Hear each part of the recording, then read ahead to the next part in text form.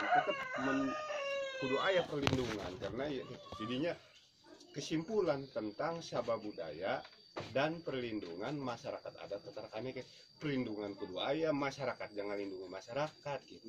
Harita bagujad cerita na di harita hasil rembukan harita kesimpulan tetap tentang sabah budaya dan perlindungan masyarakat adat. Tetarakane ke baru tena atur aturan memang amun ayeuna memang dianggap tetepat nih teu kapake misalkan ayeuna hek nu mana? Sebab eta geus katetepan amun eta orang dianggap bagus omean-omeanan nah teuing make nu eta bae. Teruskan tinggal ngomean.